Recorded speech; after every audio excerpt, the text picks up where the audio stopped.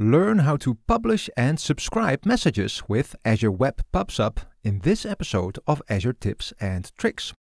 Azure Web PubSub provides real-time WebSocket communication between clients without the need to poll for messages or set up complicated plumbing. Let's see how that works. Let's start by creating a new Azure Web PubSub service. Here we go. Select a resource group and give the service a name, like this. OK, I'll leave the rest as it is. And let's create the service.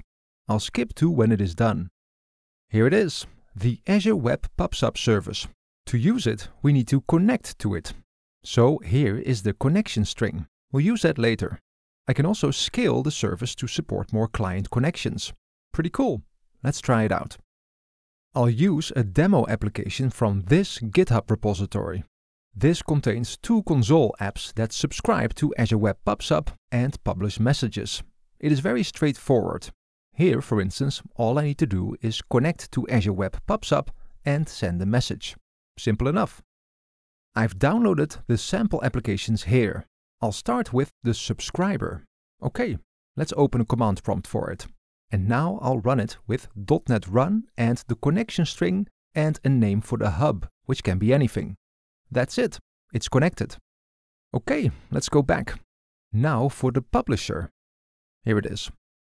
For this one, I also use .NET Run, the connection string, the hub name, and also a message, and run it. Alright, let's see. Here in the top is the subscriber app. It has received the hello message that I've just sent. Cool. Let's try another one, like this. Can you hear me? Okay, and there it is it received the message through the Azure Web PubSub connection. Really cool. Alright, so you might be asking yourself what the difference between Azure Web PubSub and Azure SignalR service is, as they seem to do the same thing. Well, there are some big differences. Azure Web PubSub is simple. It is only you and your WebSockets, no other protocols. It is a very plain service with no support to automatically reconnect clients. There is also no fallback protocol if the WebSocket connection fails. The Azure SignalR service does a bit more.